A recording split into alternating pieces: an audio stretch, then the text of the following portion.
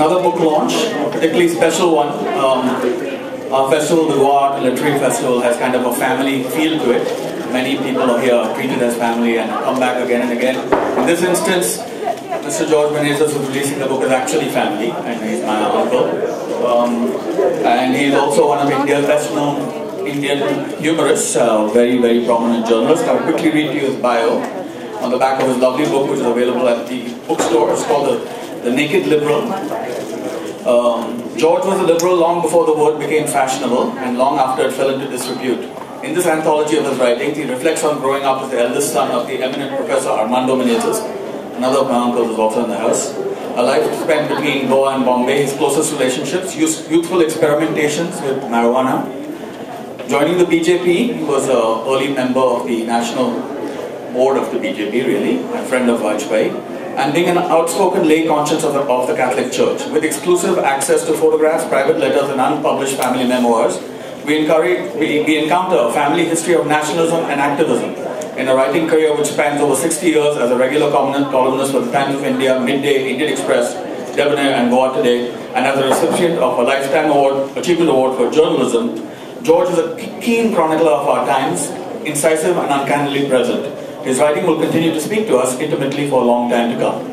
And today I'm particularly pleased and honored that Eunice de Souza will be releasing the book and is in conversation with him. Eunice has written a most marvelously incisive and generous review of the book, um, which I hope she'll reprise a little bit for us. She's one of India's leading English language poets and will be reading on stage, performing outside this evening. I urge you to come for that night of absolutely beautiful poetry and sacred music. Uh, her poems in collections such as Fix, Women in Dutch Painting, and Ways of Belonging, which is the theme of our festival, have been critically acclaimed and reflect a strong sense of individuality and feminism.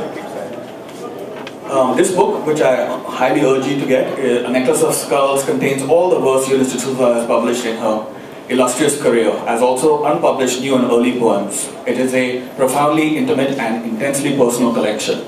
At this point, I'd just like to remind you all that the bookstore outside has got a huge number of absolutely wonderful books. Um, two book award winners from last night will be speaking today, Jerry Pinto and Janice Pariat. They're just two members of our of a outstanding lineup of, of writers. Um, the last panel was on translation. Um, our own Damodar Mauzo's um, book called Tsunami Simon was released by Gulzar. It is also available in the bookstore. I urge you to please go and check it. Welcome. Eunice and George. Um, I'll maybe help the conversation a little bit here. Oh yes, it's fine. Um, Eunice, you you actually um, I read Uncle. Um, if you don't mind, I'm going to call you Uncle George. Um, um, I read his book with with great excitement. I saw it in an early MS kind of. Uh, uh, form, and it's, it's quite unique. It's a book uh, written about him as well as uh, anthology of his writing. But I re-saw the book when in your absolutely marvelous review in the Mumbai Mirror, where you identified actually what I think is possibly Uncle George's best piece of writing, and a wonderful poem. Would you like to um, kind of describe what you thought of it, or shall we ask him to read the poem first?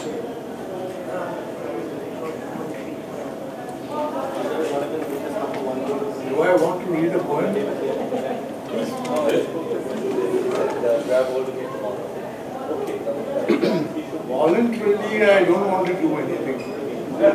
I am liberal and lazy. but I think we have a purpose in this uh, conversation.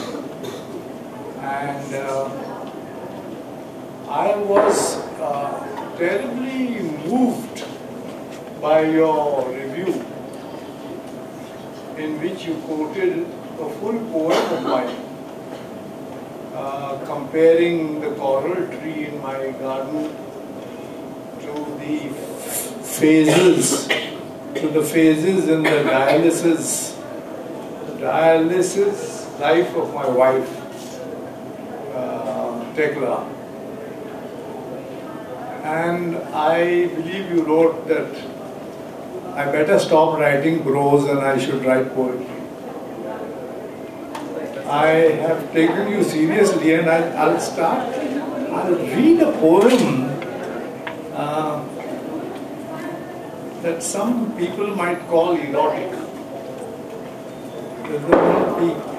The reason uh, the book is called The Naked Liberal is because for the first time in my life I let go, uh, I exposed myself to the cold in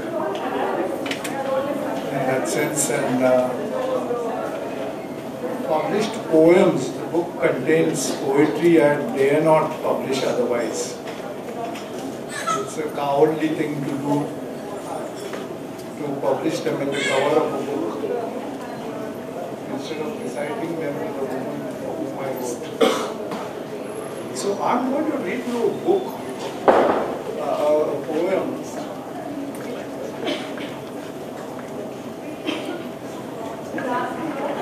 Of my Air Force days.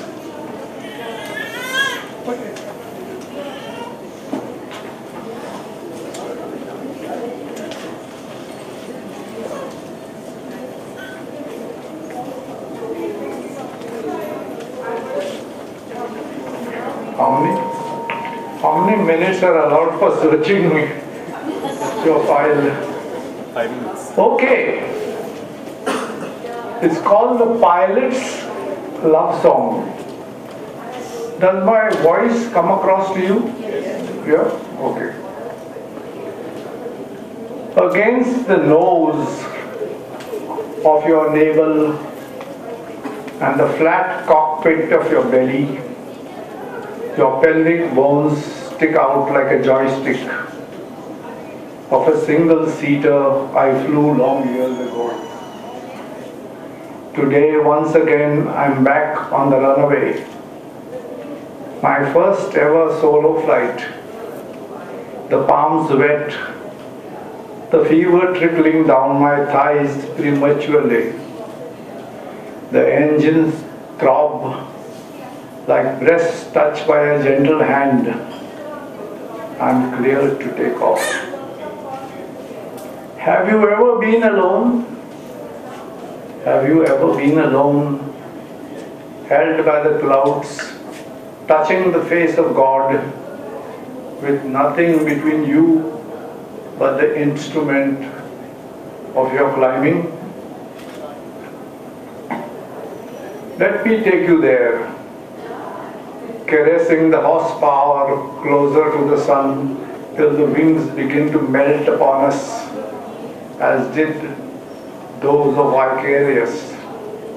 If I return to get my pilot's wings, our return must be a fusion.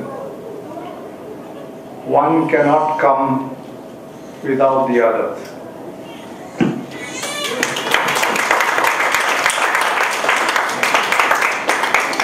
Is this working? Is it working? I was looking through George's book, which I was going to write about, and I came across pieces, of course, that were familiar and facts that were familiar. And I'll soon ask, for those who may not know him, uh, all the significant questions one is supposed to put to the person whose book one is launching. But I think one gets to know people better through their writing.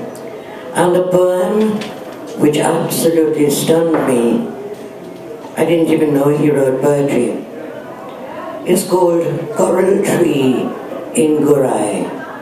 Gorai Beach is a beach in Bombay where he and Tekla, his wife, had a home. And they used to visit there sometimes. She was terminally ill. Now, this is the poem I'm going to read Coral Tree in Gorai. Each time I come to rest with you in this cottage on the beach, I see seasons in your face.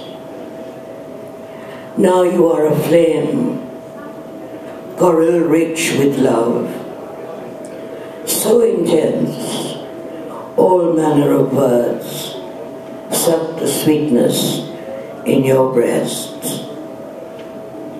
Soon the seed will be scattered by careless winds, leafless and dry. Your arthritic limbs, a barren signal in the sky. And when the rains come, gently massaging a softness into your body's pain, I see you again. Green leaves covering your shyness with a freshly woven robe. You are my coral tree, love. And every day you're changing moods. Every year you're changing body's seasons. Envelop me with love, with callous pains, with youthful gentleness. Each strong and vibrant, I cannot tell the difference. I cannot tell if I love the giving or the taking away, the joyousness or the pain, the summer or the rain.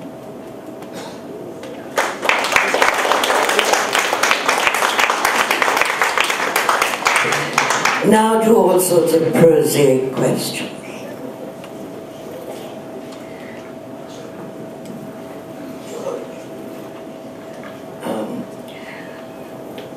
The person who edited your book writes, George writes of a new Goa caught between modernity and its faded glory, waiting impatiently to rediscover itself amidst the pain of a stillborn freedom.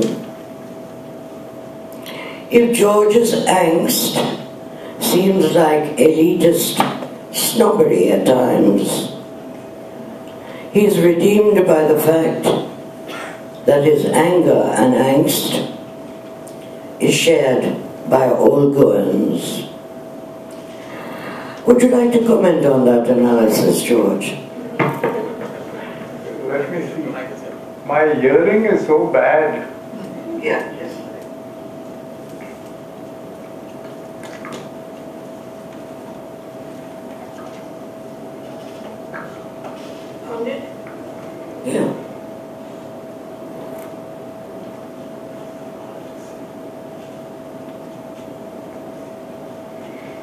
Yeah,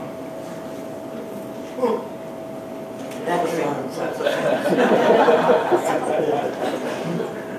You agree? You I, I could I could have said uh, that liberal as I am, uh, today my views have changed.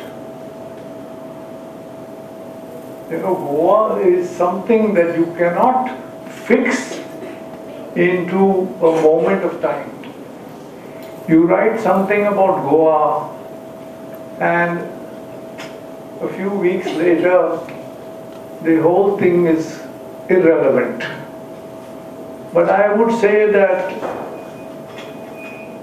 we are really the whole thing about that I've written here is some, has been written so often about vote banks and so on and so forth that um,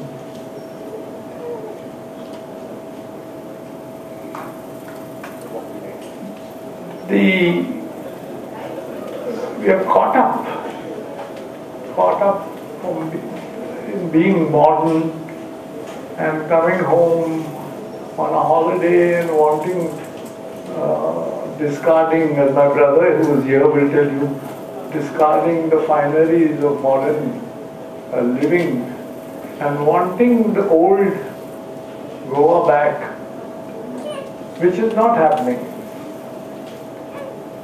There are still people I've wrote, written about Goa, the wells of wells are full. And there are people you say there is no fish, but somebody in the village, the whole thing said, uh, who, who's the keeper of the manos, you know, says, Bab, कोण सांगता तुका निश्ते मेळोंक म्हणून हॉटेलवालाने निश्तें सगळें घेतलां he says, तुका तूं आमचो तूं आमचो गोंय गोंय गांवकार आनी तुका निश्तें सदांच मेळटलें So there is the, you know, all, all this, the transition between the lines you cannot be drawn. And there are the people that make the things different. You say somewhere in the book, oh, and Oh, you said it just now as well, that you sometimes long for the old Goa. But the old Goa had all sorts of special features that we're not crazy about now. The elitism, and I don't mean one particular kind of elitism, the elitism of the Margao crowd, who looked down on the elitism of the Bardez crowd. According to that definition, all of us are elite, but George is more elite than I am, because I am from Bardez. Okay?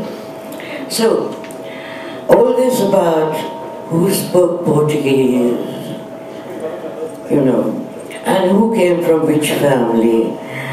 I think one of the things that would make me never want to live in Goa is this incessant family consciousness.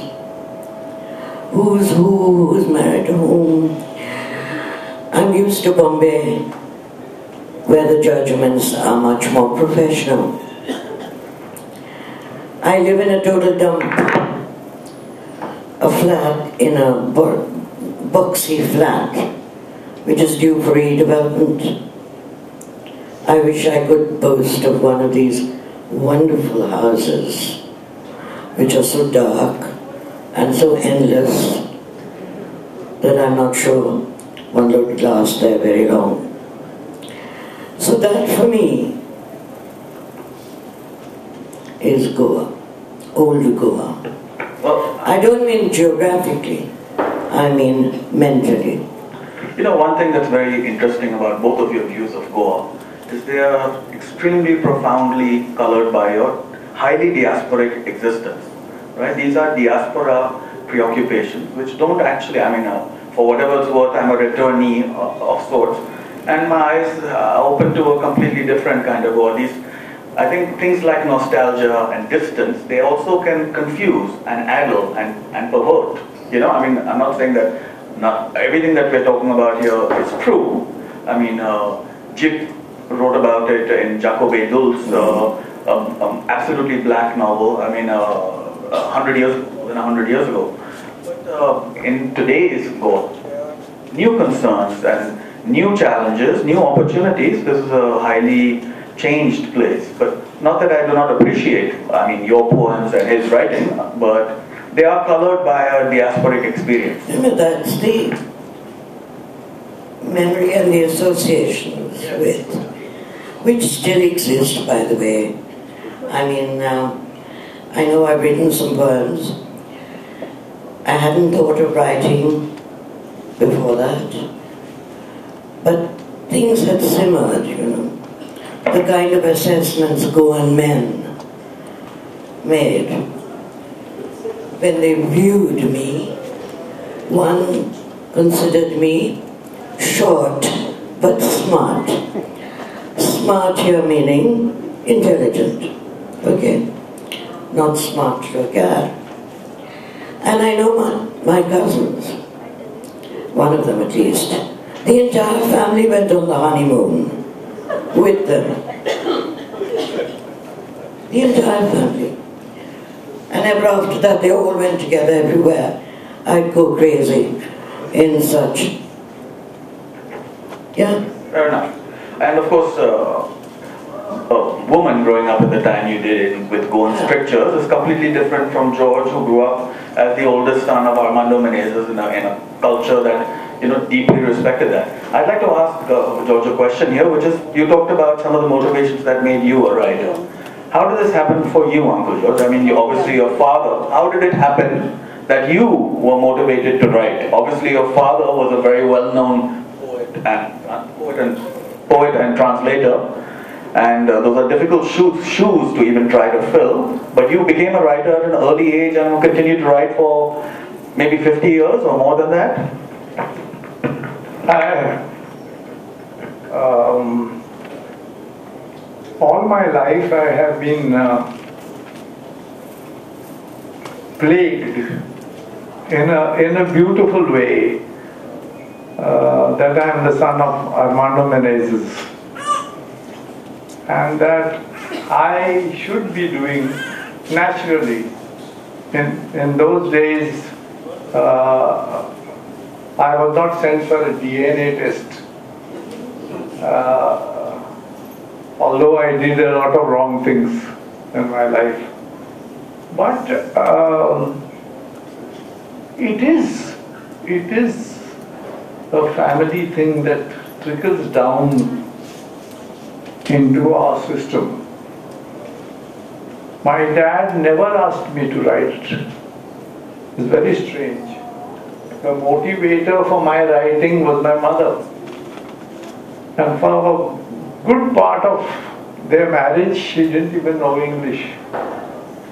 But she would sit in front of me and make me practice for the elocution on uh, competitions. So there is something that, that, that uh, we have owe a lot to, um, but there can be also a re- reverse osmosis.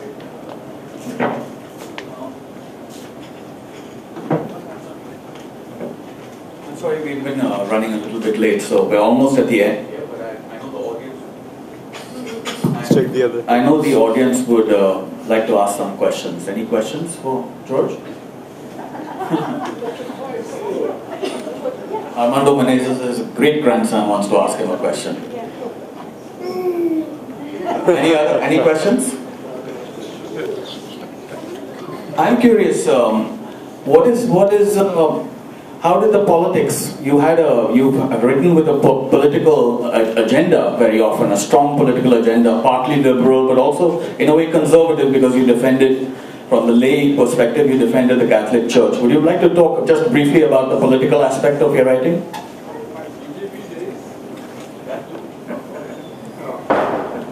I, uh, I react very strongly, very strongly. I have a strong management core in my being.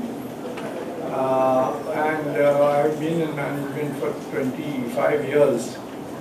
And therefore, when there is a non-governance where there is no existence of any law and order, and we have a, a prime minister who is famously known to nod his head, and a woman who governs the country in the way she does to her children. I get angry. You know, I used to write humor, and after a stage, people said to me, George, your humor seems to be forced. You're not writing, it doesn't flow as it used to before. And I said, I'm becoming more and more angry.